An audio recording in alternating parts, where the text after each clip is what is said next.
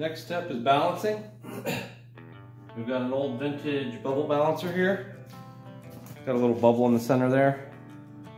Basically when the bubble's in that circle, it's balanced.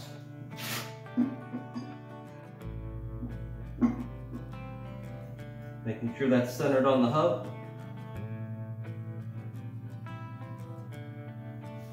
And wherever the bubble's at, we're gonna have to add weight to that spot to see if we can get that to balance out. The newer balancers that you put them on that are electronic will tell you exactly how much weight to put on your wheel and exactly where to put it. This bubble balancer, you're just gonna basically guess and check on your weights until that bubble ends up in that circle. And basically we're just gonna move our weight around the wheel until we get that bubble centered, which it looks like it's centered right about there.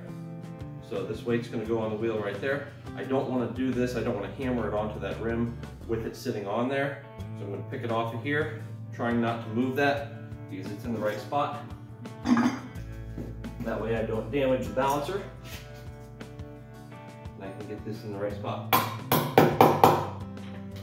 Once we've got that on there, we're gonna set it back on our balancer to double check it. And it looks like that's right in the circle.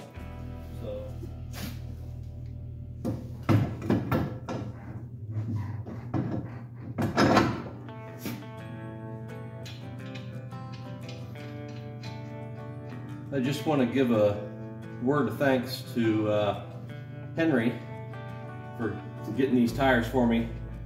Appreciate it, man. It's absolutely great. This Roadster will see quite a few miles on these tires.